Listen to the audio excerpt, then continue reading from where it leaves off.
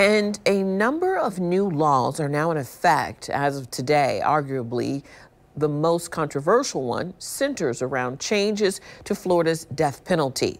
Child rapists can now face execution for their crimes. News4JAX reporter Ashley Harding explains why the law is still likely to face challenges in court. The law specifically pertains to child victims under the age of 12. Higher courts have already said imposing death sentences in these types of cases is a violation of the Eighth Amendment. While some say the law is still a measure of protecting children, others say different. Florida courts now have a green light to sentence child rapists to death row.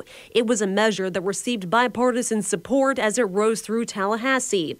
Upon signing it into law, Governor Ron DeSantis said, These are really the worst of the worst. The perpetrators of these crimes are often serial offenders.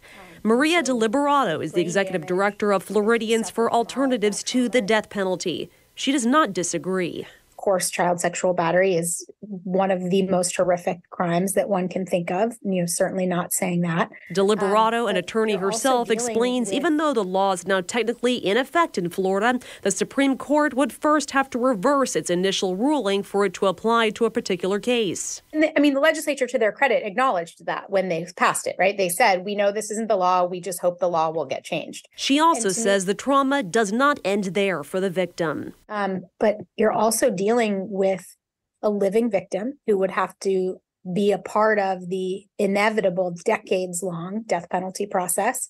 Um, a death penalty case is not quick. It doesn't go away quickly. It languishes for years and years and years.